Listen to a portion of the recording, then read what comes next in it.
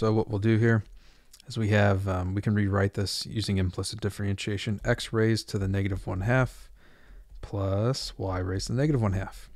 So taking the derivative, we get um, negative 1 half x, subtract 1 from negative 1 half, negative 3 halves, uh, minus 1 half y raised to the negative 3 halves. Same principle.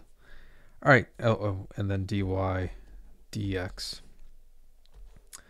Okay, so then uh, move x over, so we have negative 1 half y raised to negative 3 halves is equal to, and then dy dx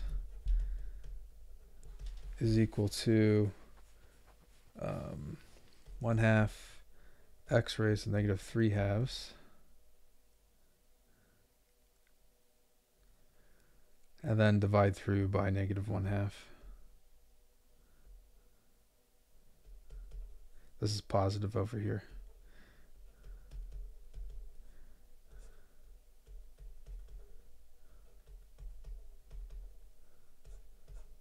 So it becomes negative. And the cool thing is we can put the y on top and the x on bottom.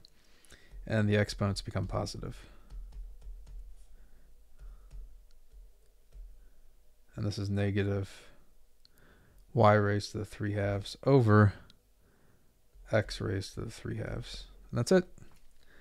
Okay, I hope this helped you out. I appreciate you watching this video, and you have yourself a fantastic day.